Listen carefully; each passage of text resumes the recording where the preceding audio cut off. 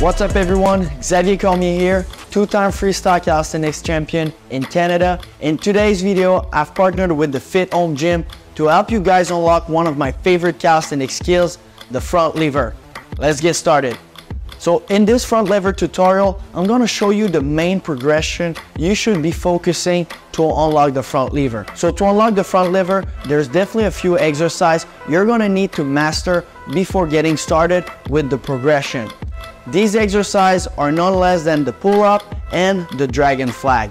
Practicing a dragon flag is really gonna help you engage the similar muscle and also fight gravity the same way you will be doing in a front lever position.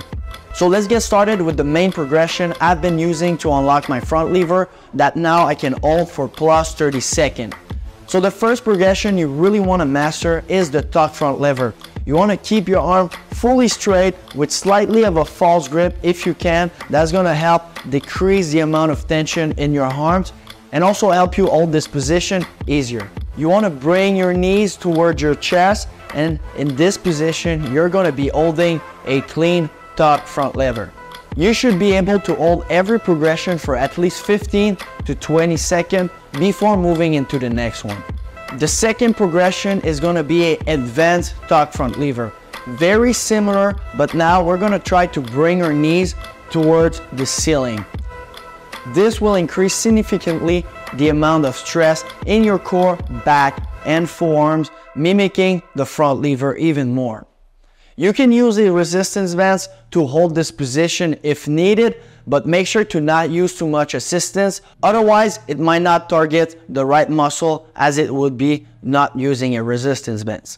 My third favorite progression is the single leg tuck front lever. With this progression, you're really getting closer to a full front lever and that's also going to really help you engage your core properly to eventually get a full front lever hold. Since the amount of tension in your core is going to be significantly higher, you can start with an advanced tuck on the opposite leg that is not straight. So by keeping that leg towards your chest, you're gonna balance your front lever, but at the same time, work on your core the way that you couldn't do with the other progression we've been through before. As you're getting more comfortable over time, you wanna bring that knees all the way up into an advanced tuck single leg front lever. This will help you over time really engage all the core muscle and get your front lever with ease over time.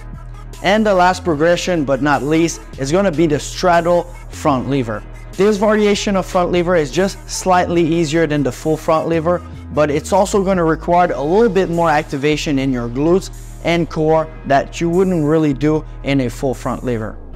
You can also use resistance bands for this exercise to really mimic the form in a clean, proper straddle front lever.